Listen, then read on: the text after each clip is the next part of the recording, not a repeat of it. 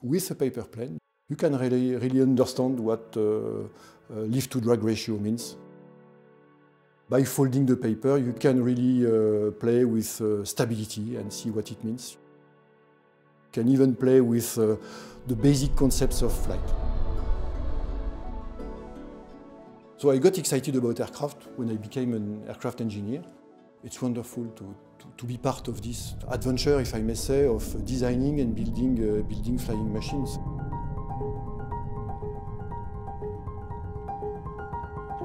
We have a fantastic aircraft, the A330. We want to make it more efficient in fuel.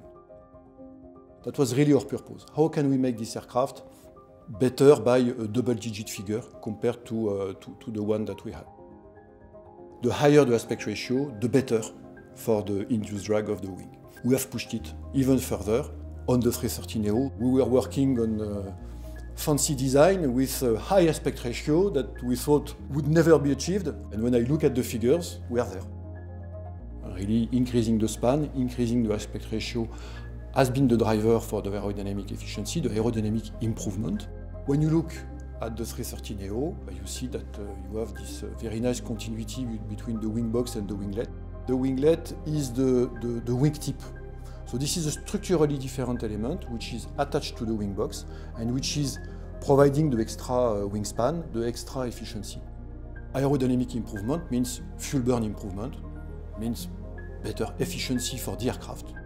And you get that on the 330neo uh, through a very, very well optimized design, using all the technologies coming from the 350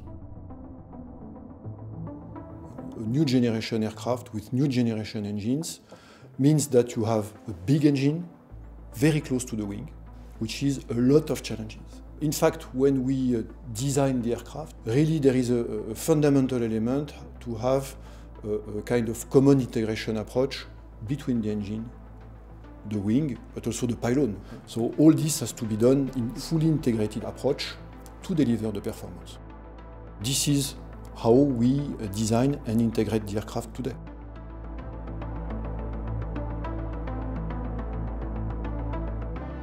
The purpose of the 330neo was to start from the fantastic machine that we have and improve fuel burn.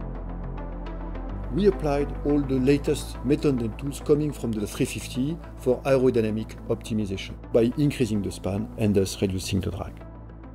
This is what we did to deliver this fully optimized, integrated aerodynamic design. Each and every element on, on the wing represents the work that has been put on the integration, on the efficiency. We have been pushing the, the capability uh, much further, and in terms of uh, numbers uh, for the 330neo, we improved the, the drag by about 3.5%. So that's, that's massive. When, when you see that and when you see uh, all the complexity of, uh, of this, uh, this process to get to this wonderful flying machine, that's really exciting. So we are engineers. We have a duty to deliver aircraft. That's our job. And the wing design is fundamental. I like almost everything on the wing, but I would lie if I would not be telling that I like very much the winglet. From the, from the very beginning, we have been dealing with the wing design to really deliver the best efficiency for our products. This is Airbus spirit. Airbus started like that, uh, really pushing the limits. And this is uh, what we have to keep doing. We keep running, we keep running. Uh, we do not stop. We have to, uh, we have to keep developing, and, and this is what we do.